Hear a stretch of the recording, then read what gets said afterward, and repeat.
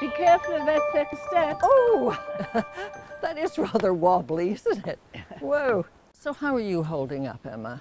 Oh, it's all becoming too much. I just want things to get back to normal. I thought I was lucky.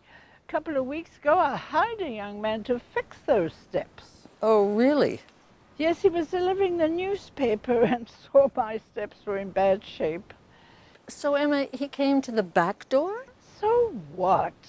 He said he was a carpenter and could fix it in no time.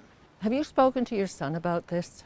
Oh no, Sam and his family are moving into a new house and I didn't want to bother them. Besides, he was very polite and clean and trustworthy.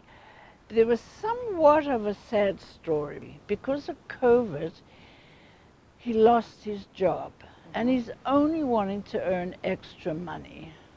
Did you get his name or any other information? Yes, of course I did. Here's his name, John Jones, and his address. And he told me all that he was going to do. He lived close by and he was going to build the steps out in his house and he was going to use cedar and then stain the wood. Well, uh, he certainly seems to know something about wood.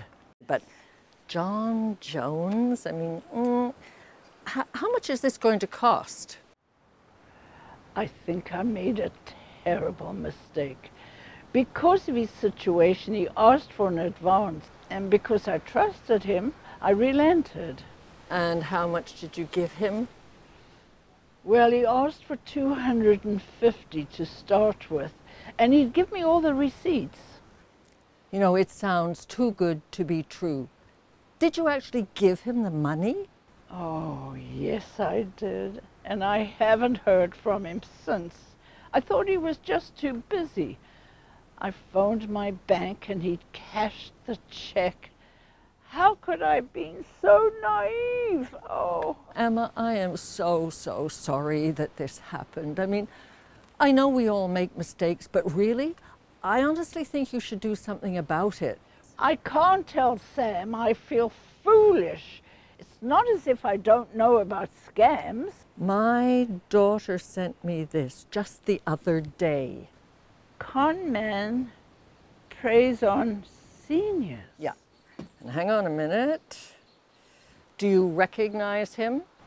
Yes, that's him.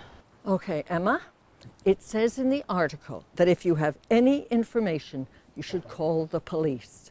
I mean, who knows what will happen, but you know, at least you might be able to stop it from happening to somebody else. Okay, thank you, Judy. I'll phone the police. But I'm not looking forward to telling Sam. He has doubts about me living on my own as it is. I'm going to dinner there on Sunday night. Wish me luck. oh, I do, Emma, I do.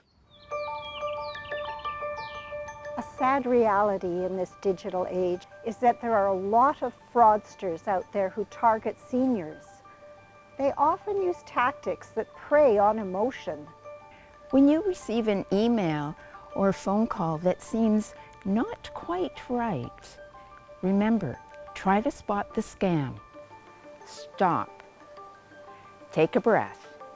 Fraudsters prey on feelings of urgency. Consider did they call you or did you contact them? Ask. Ask a trusted friend or family member to take a look at an email or tell them about a call. Money. Did that email, phone call, or text ask you for money or offer you money? Stay scam alert. For more resources, visit www.antifraudcenter.ca.